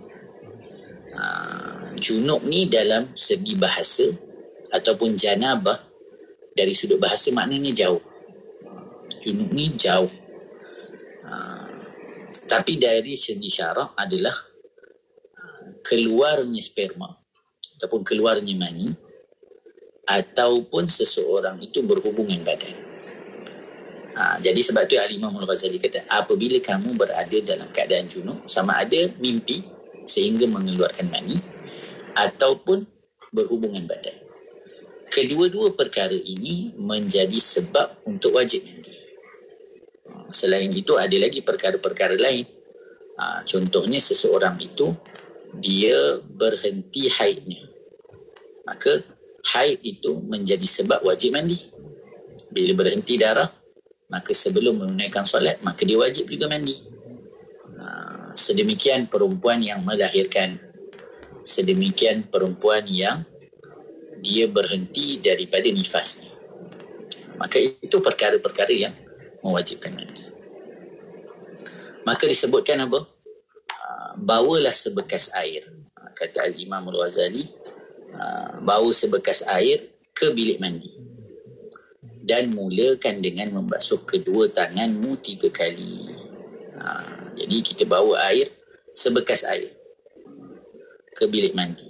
Ha, ini cerita kalau kata zaman dahulu kan air ambil daripada perigi. Kita tak payah pergi ambil air dekat dapur pula. Maksudnya kita buat persiapan nak mandi kena ada air lah. Kena ada air. Ha, bahkan sebekas air kalau kita baca bagaimana baginda Rasulullah sallallahu alaihi wasallam itu uh, mandinya hanya satu sok. Satu sok ni satu gantang. Uh, satu gantang ni besar sikit daripada gayung kalau kita punya dekat masjid tu lah. Mm-hmm. Uh, satu sok ni saya terlupa kiraannya. Uh, tapi satu gantang. Uh, Nabi berwuduk satu cupak. Kita ni kalau mandi kalau mandi wajib sekolah agak ha, sekolah mandi kita. Jadi yang pertama juga kita pelajari daripada apa yang Al-Imam Al-Ghazali nak ajarkan. Berhemah dalam menggunakan air. Sebekas air bawa ha, gunakan dengan baik. Dan mulakan dengan membasuh kedua tanganmu tiga kali. Ha, gunakan untuk membasuh kedua tanganmu tiga kali. Baik. Kemudian disebutkan dan tanggalkan segala kotoran daripada badanmu kemudian hendaklah engkau berwuduk seperti wuduk yang engkau buat untuk sembahyang beserta dengan segala doa-doanya dan kemudian kan membasuh kedua kakimu supaya air tidak menjadi air tidak jadi sia-sia. Ha, jadi disebutkan tadi basuh dulu tangan kita. Kemudian bersihkan segala uh, anggota badan kita daripada kotoran. Sama ada yang menghalang air daripada sampai ataupun najis. Uh, bersihkan dulu. Sebab apa? Sebab nanti kita akan berwuduk. Kita akan berwuduk. Uh, dan kemudian disebutkan kita gunakan ataupun kita berwuduk macam mana? Berwuduk dengan tata cara wuduk yang dianjurkan. Ha, yang kita dah belajar sebelum ni dengan doa-doanya yang kita hadirkan. Ha, tapi kita kemudian akan basuh kaki. Sebab apa? Sebab nanti kita nak basuh anggota-anggota yang lain lagi. Ha, jadi di sini diajarkan kepada kita supaya kita tidak membazir dalam penggunaan air maka dalam kita mandi wajib sunat untuk kita berwuduk jadi bila kita dah bersihkan maksudnya ketika mana kita sampaikan air mula ke anggota badan kita kita dah niat kemudian kita bersihkan kotoran jadi bila kita dah ambil wuduk bila kita mula dah ambil wuduk kita tak perlu lagi menyentuh kemaluan kita dan sebagainya. Menjadikan kita tak perlu berwuduk lagi. Itu maksudnya. Kemudian kata Musannif, apabila engkau sudah selesai daripada berwuduk, kita akan sambung selepas ini insya-Allah. InsyaAllah kepada anda boleh terus ikuti dan menonton rancangan bicara adab kita di Facebook IKIM uh, live kita pada malam ini untuk bicara adab, adab-adab mandi. Jadi anda jangan ke mana-mana, terus dengarkan kami di IKIM Inspirasi Inforia Islami. Pandemik ini boleh membawa kepada isu kesihatan mental yang serius sekiranya tidak ditangani dengan baik. Mari kenali tanda-tanda kemurungan. Berlaku perubahan sikap dan tingkah laku individu, sentiasa kelihatan sedih dan murung. Hilang minat terhadap aktiviti yang biasa dilakukan. Mengalami gangguan tidur dan selera makan, sukar untuk menumpukan perhatian, mengasingkan diri daripada keluarga dan rakan-rakan bertindak agresif dan kasar terhadap diri sendiri dan orang sekeliling serta pernah menyatakan perasaan hilang harapan atau bosan untuk hidup. Sekiranya terdapat gejala-gejala ini, individu dinasihatkan mendapatkan nasihat perubatan profesional dalam kadar yang segera bagi mengelakkan keadaan yang lebih buruk. Kita tangani bersama ya. Hashtag kita jaga kita. Kota Baru 89.8 FM Terus ikuti siaran kami di Game Inspirasi Inforia Islami untuk bicara adab kita. Kita nak sambung lagi adab-adab mandi menerusi kitab Bidayatul Hidayah bersama dengan Ustaz Ahmad Salahuddin Harun bersama dengan kita waktu ini. Kita nak sambung selanjutnya Ustaz untuk pengajian kita malam ini. Bismillahirrahmanirrahim. Terima kasih diucapkan kepada DJ Faiz Haji Usman. Hafizahullah Ta'ala wa madda'hu bisihatin wa afiyah. Sidang pendengar IKIM yang dimuliakan Allah Subhanahu wa taala kita sambung perbahasan kita di dalam kitab Bidayatul Hidayah memperbahaskan berkaitan dengan adab-adab mandi. Apa yang perlu dilakukan seseorang ketika mana ingin mandi ya bahkan lebih utama disebutkan di sini adalah berkaitan mandi wajib. Jadi kita sebut tadi ada mandi yang wajib sebagaimana kita dah sebutkan. Ada juga mandi yang sunat. Uh, seperti contoh mandi hari raya Aidilfitri mandi hari Jumaat. Uh, maka itu mandi yang sunat. Uh, maksudnya diberi pahala bahkan dituntut untuk kita mandi untuk hadir solat Jumaat sebagai contohnya. Ada mandi yang harus. Uh, seperti mandi kita setiap hari. Ada mandi yang makruh. Ah, oh ada juga mandi yang makruh. Ada. Para fuqaha menyebutkan antaranya apa dia? Mandi yang kita dalam keadaan puasa yang mana kita mandi tu kita menyelam ha, itu makruh hukumnya. Ha, Allahumma salli ala sayyidina Muhammad. Ada mandi yang haram. Oh mandi yang haram pun ada. Ada. Ha, contohnya apa? Para ulama kata ada mandi yang haram tapi hukum mandi tu sah ha, Contoh orang dia mandi wajib uh, ataupun dia mandi sunat. Tapi air itu air curi. Uh, jadi tengok para fuqaha mereka sampai fikir. Uh, contohnya kita pergi mandi guna air jiran. Uh, boleh tak? Haram lah hukumnya. Sebab air itu air jiran. Uh, tapi kalau kita mandi wajib, jadi tak mandi wajib kita? Jadi. Uh, tapi ada mandi yang haram. Bukan sahaja haram, tapi tak sah pun. Uh, contohnya apa? Orang perempuan. Jadi dia dalam keadaan haid. Dia niat mandi itu mandi wajib. Maka perbuatan itu haram. Kalau dia niat untuk bermain-main, maka berdosa. Bahkan mandi itu tak sah. Maksudnya dia tak terangkat hadas pun. Kerana dia masih di dalam hadas. Baik. Jadi tadi kata Ali Imam Al-Ghazali, ketika kita nak mandi, kita bersihkan tangan kita. Kemudian, uh, kita tanggalkan segala kotoran. Buang semua kotoran-kotoran, najis-najis yang ada pada badan kita. Ataupun apa-apa sahaja yang boleh menghalang air untuk sampai. Kemudian kita berwuduk. Jadi berwuduk ini hukumnya sunat. Berwuduk ini hukumnya sunat. Kenapa dikatakan sunat? Uh, kerana para fuqaha menyebutkan sekiranya seseorang dia mandi wajib. Dia mandi wajib, yakni mandi dari janabah. Maka hukumnya adalah tidak wajib baginya untuk berwuduk. Orang kalau dia mandi wajib, dia sebenarnya tak wajib untuk berwuduk. Uh, setelah dia mandi. Tapi dengan syarat dengan syarat ketika mana dia mandi, dia tidak melakukan perkara-perkara yang membatalkan wuduk. Maksudnya kalau dia mandi, dia tak sentuh kemaluannya dan sebagai ataupun dia pakai lapik. Jadi, tak sentuh kemaluan contohnya. Maka ketika itu, aa, dia tidak wajib untuk berwuduk. Tapi kalau ketika dia mandi wajib, dia melakukan perkara-perkara yang membatalkan wuduk. Dia buang air kecil ataupun yang lain-lain maka ketika itu dia kena berwuduk. Kerana dalam kaedah fiqh disebutkan ma aujaba a'zama al-amrayni bi khususihi la yujibu ahwanahuma. Ha, perkara yang wajib berdasarkan sebab yang khusus ha, menyebabkan untuk tidak wajib melakukan perkara yang lebih ringan kerana sebab yang umum.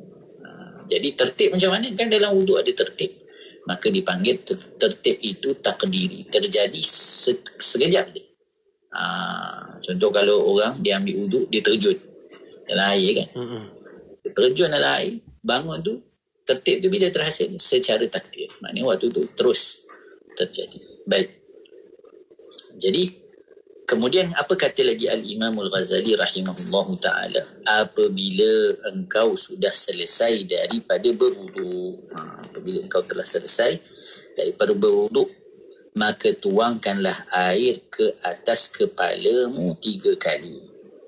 Ha, tuangkan air ha, ke kepalamu tiga kali dan engkau berniat mengangkat yakni menghilangkan hadas junub. Ha, jadi kita bersihkan. Bila kita kenakan air pada pakaian ataupun pada uh, Allahumma salli ala sayyidina Muhammadin wa ala alihi wa sahbihi wa barik wa salim kenakan air pada kepala kita maka kita ni menghilangkan hadas junub kemudian tu, tuangkanlah air ke sebelah badanmu yang kanan. Uh, bila kita mandi mulakan dengan yang kanan. Sunatnya kemudian baru yang kiri. Tengok. Dalam ibadat mandi pun ada keutamaan mendahulukan yang kanan daripada yang kiri. Ha. Dan ikutilah dengan sebelah kiri. Ha. Jadi sunat kanan kemudian kiri. Dan gosoklah bahagian hadapan dan belakang daripada badanmu. Ha. Dan selati rambut-rambut di kepala dan janggutmu. Ha. Ini sunatnya. Untuk apa? Untuk menyampaikan air ke seluruh anggota. Jadi syaratnya ataupun rukun dalam mandi ni yang pertama niat. Ha, ketika mula kita membasuh anggota kita niat. Kemudian niat itu kita hadirkan ke dalam hati. Rukun yang kedua meratakan air ke seluruh anggota. Dengan apa cara sekalipun. Jadi di sini kata Al-Imam Al-Ghazali. Ha, gosok badan kita ni. Ha, gosok badan kita supaya air sampai. Uh, sebab tu menjadi adabnya kita buang dahulu perkara yang boleh menghalang air daripada sampai. Baik ada najis, baik ada apa-apa yang melekat di badan. Lepas tu supaya kita mandi mudahlah. Bila kita mulakan mandi. Kemudian uh, selati rambut di kepala dan janggut. Uh, di sini kita kena fahami dalam masalah wuduk kita dah sebut sebelum ni kalau kita berwuduk orang yang janggut dia panjang maka uh, dia hanya perlu menyampaikan air di zahir tidak di batin. Uh, tapi berbeza dalam masalah mandi. Bila mandi tebal ke, nipis ke, hmm. kita punya janggut, kita punya jambang kena sampaikan air sampai ke ke bahagian dalam. Maksudnya ke bahagian kulit di bawah janggut kita ni. Jangan kata oh saya ni nipis je ni. Ha, tak dalam masalah mandi bukan macam tu. Kemudian dan sampaikan air ke tempat-tempat yang berlipat. Ha ni. Kita kita ni yang ada apa orang panggil tu? Apa orang panggil? Saya tak ingat istilah dia. Ha, tapi kalau orang berisi sikit, dia berlipat-lipat dia punya lemak tu. Ha, berlipat-lipat lemaknya tu. Jadi, pastikan kadang-kadang kita tak perasan dia bila air tu dia lalu, dia skip ha, kawasan celah tu. Saya. Kan? Ha, tambah pula kalau kita duduk. Ha, jadi kalau kita berdiri tu, kita perasan lah. Ha, dia tak ada lah. Apa kita panggil tu? Lipatan-lipatan tu. Tapi kalau mandi duduk, ha, mungkin lipatan tu nanti terlepas. Jadi pastikan kawasan lipatan-lipatan tersebut sampai air kepada Dan tempat tumbuh rambut, baik yang tipis maupun yang tebal dan jangan sekali-kali engkau menyentuh kemaluanmu selepas berwuduk. Ha, ni yang disebutkan tadi. Bila kita dah berwuduk, jangan sentuh kemaluan kita dah. Sebab apa? Nanti membatalkan semula wuduk. Lepas mandi, kena ambil wuduk pula. Ha. Dan jikalau tersentuh tanganmu dengannya, maka ulangi wudukmu sekali lagi. Ha, ulangi wudukmu sekali lagi. Baik. Allahumma salli ala sayyidina Muhammadin wa ala alihi wa sahbihi wa barik wa sallim. Dan perkara yang wajib dalam mandi ialah yang pertama adalah niat. Yang kedua, menghilangkan najis dari badan jika ada. Yang ketiga, meratakan air ke seluruh anggota. InsyaAllah kita akan sambung lagi selepas ini berkaitan dengan rukun-rukun mandi. Saya insyaAllah kepada anda boleh terus ikuti kami menerusi bicara adab kita. Jadi jangan ke mana-mana, terus dengarkan IKIM Inspirasi Info Ria Islami untuk bicara adab.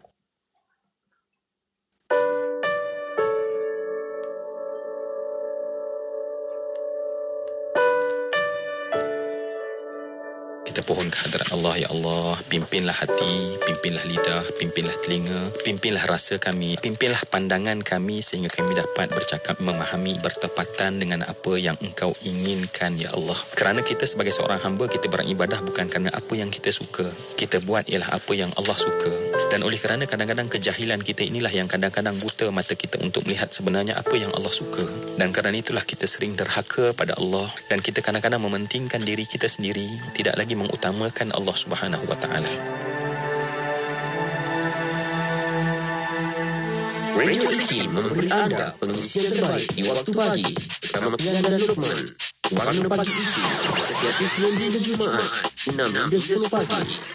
Nabi kata man kana wa man kana yu'minu billahi wal yawmil akhir barang siapa yang beriman dengan Allah dan juga hari akhirat Nabi kata falyakul khairan hendaklah sungguh-sungguh dia menyebut benda-benda yang baik-baik saja. Atau kalau tak dia sebut benda baik, lias maka dia lebih baik dia. Diiringi dengan nasyid terbaik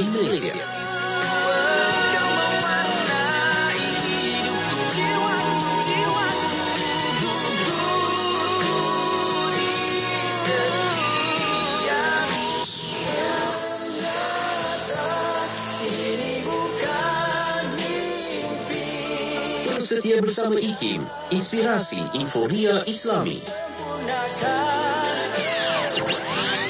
Pastikan terus setia bersama kami di IKM Inspirasi Inforia Islami Bicara Adab kita waktu ini bersama dengan Fadil Ustaz Ahmad Salahuddin Harun. Dalam talian kita waktu ini kita bawakan adab-adab mandi menerusi kitab Bidayatul Hidayah. Ustaz kita nak sambung lagi untuk bahagian terakhir kita pada kali ini Ustaz.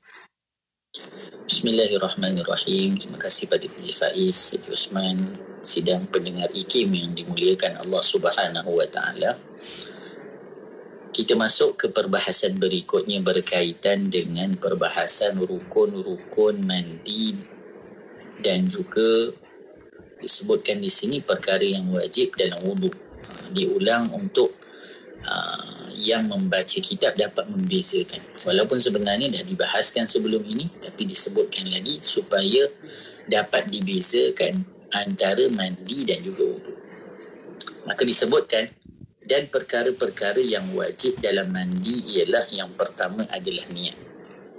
Ha, jadi niat merupakan uh, rukun bagi kebanyakan ibadah. Kebanyakan ibadah itu dimulakan dengan niat. Dan hadis yang jelas disebutkan berkaitan dengan niat ini adalah apa yang disebut oleh baginda Nabi innamal a'malu binniyat Maka dalam kita nak mandi, bilakah waktu kita berniat? Bermula pada permulaan kita membasuh anggota badan kita. Tak kira lah kepala kita mula dulu ataupun kaki. Kan ada orang, kalau dulu orang tua-tua kata kalau nak mandi demam ke apa, mula kaki dulu. Saya. Contohnya. Ha, jadi tak kira lah dekat kaki kita mula ke, dekat kepala kita mulakan maka pada permulaan air sampai ke anggota kita berniat tapi kalau dah tengah bau kita ni eh, maka ketika itu kita perlu membasuh semula bahagian yang kita tidak berniat lagi tempatnya di hati dan bagaimana cara niatnya contoh kita kata nawaitul usla li raf'il hadathil akbari lillahi ta'ala ha, kalau kita tak ingat bahasa Arab pun kita niat saja aku mandi Ah, bagi mengangkat hadas besar kerana Allah Subhanahu wa taala. Yang kedua katanya ah, kalau di sini disebut menghilangkan najis dari badan dalam kebanyakan kitab tak disebutkan ini bahagian daripada rukun. Tapi kebiasaannya di dalam kitab-kitab disebutkan yang kedua adalah meratakan air ke seluruh anggota. Tapi Al-Imam Al-Ghazali meletakkan menghilangkan najis dari badan. Dan dua dan tiga ni sebenarnya dia saling melengkapi. Maksudnya apa? Kita nak ratakan air, kenalah buang dahulu kotoran ataupun najis yang ada di badan kita. Uh, bahkan disebutkan tadi dah disebut oleh Al-Imam Al-Ghazali bila kita nak ratakan air, maka menjadi anjuran kepada kita untuk perhatikan tempat-tempat yang kebiasaannya air susah nak sampai. Bawah ketiak sebagai contoh. Bahagian telinga ha, juga bahagian ha, depan dan belakang kemaluan kita. Maka dalam kitab fiqah DJ Faiz ada uh, kita panggil ilghas hmm. ada teka-teki. Uh, jadi dalam bab ni ada teka-teki uh, apa dia ada orang yang dia dalam keadaan junub hmm. dia dalam keadaan junub dia menyelam dalam air yang bersih dia menyelam dalam air yang bersih seribu kali dia menyelam Oh, dalam kitab fiqah disebutkan sampai seribu kali dia menyelam. Nak cerita banyak kali dia mandi. Lepas tu dia niat pula. Ha, mungkin orang kata, oh sebab tak niat. Okey, dia niat. Ha, untuk mengangkat hadiah besar. Dan tak ada penghalang yang menghalang air daripada sampai. Ha, untuk sampai ke kulit. Tetapi tidak terangkat junubnya. Ha, jadi, kitab fiqah ni Masya Allah para ulama ni sampai boleh buat fikir iftiradiyah ataupun buat teka-teki supaya orang-orang belajar fiqah ni otaknya jalan mhm. hmm. jadi soalan dia ada orang dia dah mandi seribu kali air tu pula air yang bersih lepas tu apa tak ada apa-apa yang menghalang untuk air sampai ke badan tetapi tidak sah lagi mandi tersebut. Dah seribu kali dah ni. Hmm. Uh, mandi apa tu? Apa pasal dia tak jadi tu? Aha, jadi para ulama sebut di dalam Al-Imam Al-Bujairimi menyebutkan dalam Hasyiah Bujairimi Al-Khatib dia kata apa? Jika pada badan orang yang mandi tersebut terdapat najis mughallazah. Ah dia terkena najis mughallazah. Jadi tak memadai kan dalam masalah najis mughallazah tidak memadai kita bersihkan dengan air. Tapi kena bersihkan dengan air tanah dulu. Jadi bila dia tak bersihkan dengan air tanah, tak bersih-bersih lah badan dia tu. Ah jadi oh, kita kata oh betul juga. Ha, sampai macam tu. Fuqaha berfikir untuk bagi kita kita punya uh, mahir dalam ilmu. Jadi dibawa permasalahan-permasalahan. Baik. Kemudian yang ketiga disebutkan meratakan air ke seluruh anggota. Maka para ulama uh, menyebutkan dalam kita meratakan air ke seluruh anggota ada beberapa sunat yang dianjurkan untuk kita lakukan. Antaranya apa? Kalau boleh ketika mandi menghadap kiblat. Ha, jadi kita nak mandi ni ha, sebab tu kita sebut kalau sebelum ni dalam pengajian adab dalam kehidupan kita kita perlukan juga seorang atau bukan seorang ramai sebenarnya arkitek-arkitek yang memahami hukum hakam Islam. Jadi kita bukan nak suruh semua orang jadi ustaz. Kan? Ha. Tapi kita nak arkitek yang memahami hukum hakam Islam. Jadi bila dia buat tempat tidur kita dah sebut dulu tempat tidurnya sesuai dengan tuntutan agama. Maksudnya katilnya itu bila dia baring dia dapat laksanakan sunnah. Sedemikian juga keadaannya bilik air. Jadi kalau boleh shower tu dipasang sesuai dengan shower tersebut dia dapat menghadap ke arah kiblat bila mandi. Ha, ini satu perkara yang kita boleh ambil perhatian. Bahkan uh, orang-orang yang ada uh, fikir macam ni bila dia buat maka dia dapat menganjurkan orang lain untuk melaksanakan sunat dan dia dapat pahala sekali. Ha, inilah dia namanya tijarah. Tijarah ni uh, perniagaan yang tak ada ruginya. Dan tanpa kita sedari, kita mendapat pahala daripada perkara-perkara yang kita merasakan benda itu kecil tetapi ia menjadi besar kerana kita lakukan kerana nak hidupkan sunnah Nabi sallallahu alaihi wasallam. Ha, siapa yang nak peduli kalau kata kita buat semua benda macam tu? Kan? Ha, kalau kita betul-betul buat contoh shower tu menghadap ke arah kiblat supaya orang bila mandi menghadap ke arah kiblat, siapa yang ambil peduli? Tak ada. Siapa yang nak puji kita? Tak ada. Jadi kita akan buat benar-benar memang nak hidupkan sunnah. Dan mungkin kerana itu menjadi sebab nanti kita akan diterima oleh Allah Subhanahu wa taala. Dianjurkan juga bila kita nak mandi, mandi dalam keadaan berdiri. Ha, kalau kita kita nak mandi wajib ni sebaiknya mandi keadaan berdiri. Ha, kalau uzur maka diuzurkan, tidak ada masalah nak duduk boleh. Ha, bahkan dianjurkan juga sebelum kita mulakan mandi bersugi dulu. Ha, bersugi dahulu.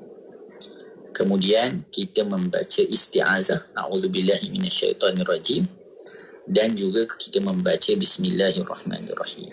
Nah, kita membaca bismillahirrahmanirrahim. Kemudian kita sebutkan tadi sebelum kita mandi kita berwuduk dahulu. Ha, berwuduk. Juga dianjurkan kita berkumur-kumur. Ha, kumur-kumur juga menjadi sunat ketika mana sebelum kita mandi. Dan kita niatkan untuk melakukan sunat-sunat mandi. Ha, kemudian kita dah sebut tadi apa yang disebut oleh Al-Imam Al-Ghazali menggosok badan kita. Ha, juga membasuh anggota sebanyak tiga kali. Ha, basuh anggota-anggota badan kita juga sebanyak tiga kali. Sedemikian juga dianjurkan untuk kita mandi walaupun kita seorang-seorang dalam bilik air menutup aurat. Tapi kalau kita mandi tanpa penutup sebagaimana yang kita sebutkan di dalam kita adab sebelum ni, kalau kita nak buka pakaian sehingga menampakkan aurat kita walaupun tak ada orang, maka kita baca bismillahilladzi la ilaha illahu. Ha, kita baca ayat tersebut ha, untuk menutupi diri kita, aurat kita dari pandangan jin. Allahumma salli ala sayyidina Muhammadin wa ala alihi wa sahbihi wa barik wa sallim. Juga para ulama anjurkan. Ha, ni kita ambil perhatian disebutkan apa? Tidak mengeringkan bekas air mandi kita. Maksudnya kita tak perlu lap tak perlu lap ha, kerana air tersebut sebagai bekas ibadah. Kita mandi tu bekas air tu daripada ibadah biar dia kering sendiri.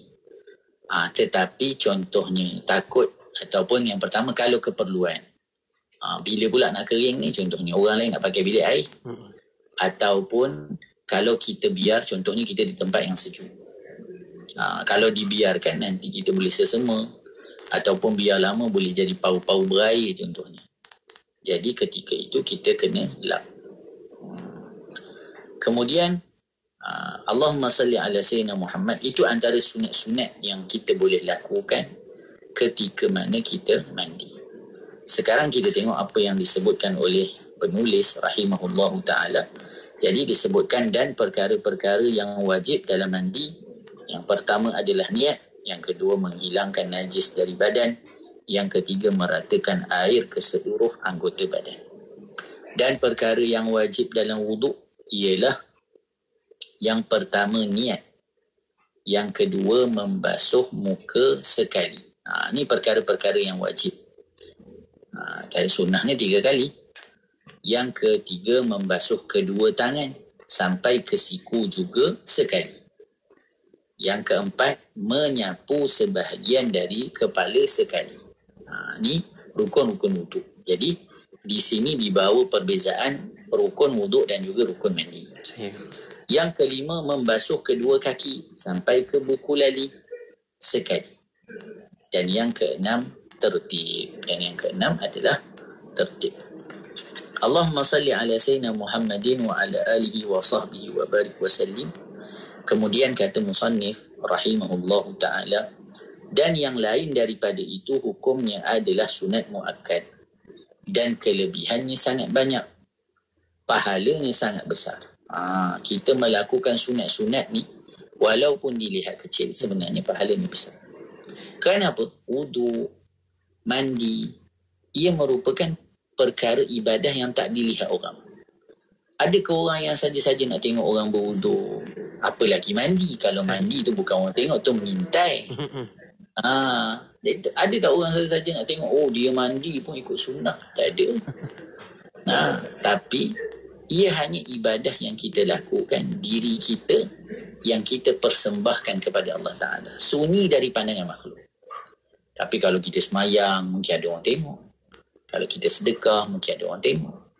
Kalau kita puasa pun mungkin ada orang yang sentiasa tahu dan lihat bagaimana cara puasa kita contohnya.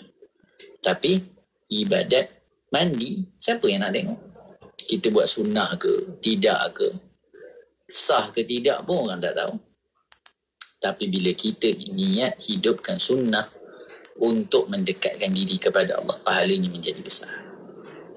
Kemudian, dan orang yang tidak mengambil berat dengan yang sunat ini adalah rugi. Ha. Bahkan boleh membawa yang wajib kepada bahaya kalau dia ambil ringan. Ha, tak apalah sikit-sikit je janji sampai air contohnya. Kadang-kadang boleh jadi tak sampai. Sebab apa? Contoh menyelati tadi tu. Menyelati uh, apa nama lipatan-lipatan pada badan kita. Kita kata oh sampai dah air kuat air shower ni kita kata. Rupanya kerana sikat sambil lewa dan tidak mengikuti sunnah menyebabkan air tak sampai. Ha, maka perkara ini dipandang berat oleh Al-Imam Al-Ghazali. Rahimahullah ta'ala. Kerana perkara-perkara yang sunat merupakan penampung kepada kekurangan yang ada pada yang wajib. Allahumma salli ala sayyidina Muhammadin wa ala alihi wa sahbihi wa barik wa sallim. Kemudian kata Al-Imam Al-Ghazali rahimahullahu taala adab-adab bertayamum. Jadi kita akan pelajari pula berkaitan satu lagi perkara berkaitan dengan maqasidut taharah. Itulah dia tayamum. Tadi kita dah belajar wudu, kita dah belajar mandi, ha, menggunakan air. Tapi ada kalanya seseorang itu diuji sama ada dia tidak boleh menggunakan air ataupun air tak ada. Ha, jadi macam mana Al-Imam Al-Ghazali ajarkan kepada kita supaya kita tahu dalam keadaan apa sekalipun kita tidak boleh meninggalkan ibadah kepada Allah. Ha, itu yang ingin dibawakan oleh Al-Imam Al-Ghazali. Wallahu a'lam saya. Jazakumullah khair Ustaz. Untuk perkongsian kita pada kali ini berkaitan dengan adab-adab mandi semoga dapat kita amalkan. Macam Ustaz sebutkan tadi inilah semoga zahirlah keikhlasan kita dalam kita mengamalkan sunnah-sunnah baginda dan apa yang telah diajarkan oleh baginda Rasul sallallahu alaihi wa alihi wasallam sekali lagi Ustaz terima kasih banyak untuk ilmunya. Semoga terus diberikan kesihatan dan dipelihara oleh Allah Subhanahu wa taala dalam kebaikan untuk bersama-sama dengan kita lagi minggu hadapan. Setiap Selasa 9 malam untuk bicara adab. Jumpa lagi Ustaz insyaallah Assalamualaikum. Waalaikumsalam warahmatullahi taala wabarakatuh. Buat anda terus ikuti kami Bicara Adab kembali semula Selasa Minggu Harapan jam 9 malam serta ulangannya pada hari Sabtu jam 10 malam di IKIM. Inspirasi Inforia Islam. Wadah ilmu sepanjang hari berkongsi santapan sanubari. Pastinya hanya di IKIM. Inspirasi Inforia Islami. Sah dah solat? Dah, Mak. Apa, Sah? Hai, tadi bukan main lawa lagi dengan lipstiknya, dengan foundationnya. Dah bersih saya cuci, Mak. Apa sah? Cepatnya. Jangan buat main-main lah. Tak sah wuduk nanti. Mak, sah kan pakai Nuraisa. Nuraisa ni kan kosmetik mesra wuduk. Senang nak bersihkan dan nak tanggalkan. Apa sah? Nuraisa lah, Mak. Nuraisa. Nuraisa, Nuraisa. Kosmetik mesra wuduk Nuraisa. Dua, dua. Eh, kejap. Ini kawan saya ni. Kalau beli barang mesti dua, dua. Kasut dua, baju dua. Ish, semualah dua. Sekarang dia tengah kembangkan lagi perniagaan. Nak beriklan pun pilih dua. Iklan di radio dan media sosial. Apa tunggu lagi? Inilah masanya. Promosikan perniagaan anda di platform media sosial dan radio IKIM dengan pakej yang sangat berbaloi. Hubungi 017-345-2564 atau 012-686-9236 hari ini. Tarikh tutup permohonan iklan pada 16 hari bulan setiap bulan. Bulan Ramadan mengajar kita erti persaudaraan. Ketika ini, rakyat Palestin, Syria dan Yaman tiada bekalan yang cukup hidup dalam keadaan yang amat sukar. Alangkah indah jika kesusahan mereka dapat kita ringankan bersama dan merebut pahala yang berganda. Ayuh bersama kita raikan kemeriahan Ramadan melalui kempen Ramadan Bersama Anjuran Aman Palestin. Layari www.jommenyumbang.com. Bangkit, berjuang bersama. Sebagai menghargai Hari Ulang Tahun IKIM ke-30, IKIM menawarkan jualan istimewa buku-buku produk terbitan IKIM, pelbagai combo buku yang menarik, serta percuma CD dan DVD untuk anda semua. Macam mana kalau nak? Ha, layari www.ikimniaga.my atau melalui aplikasi Shopee dan Lazada. Cari IKIM Jarak Niaga. Untuk bantuan, hubungi 011-5769-5400. 011-5769-5400. Radio IKIM sentiasa memberi anda lagu-lagu ketuhanan yang terbaik.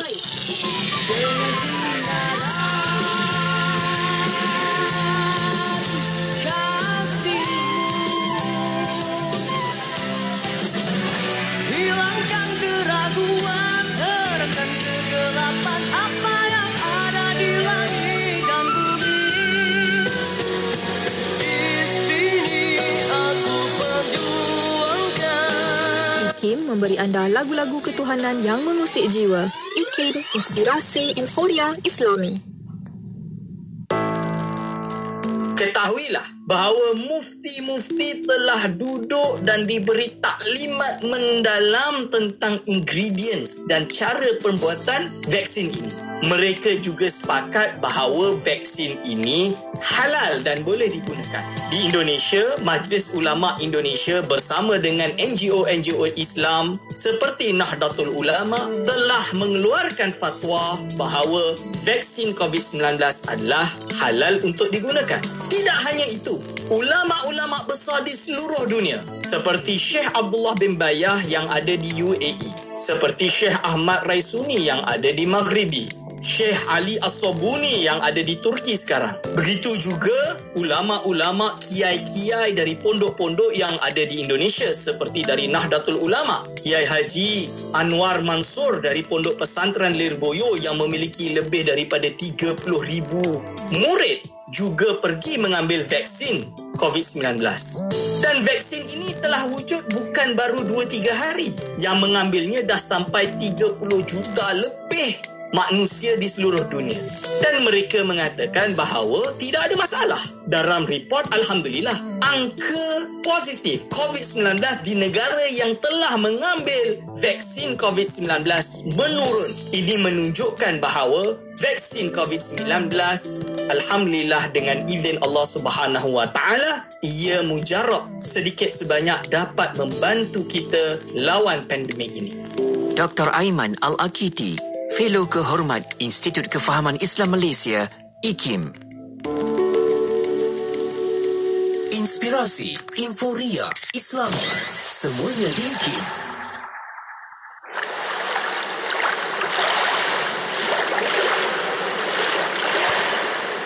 Ya Latif, Ya Latif, Ya Latif.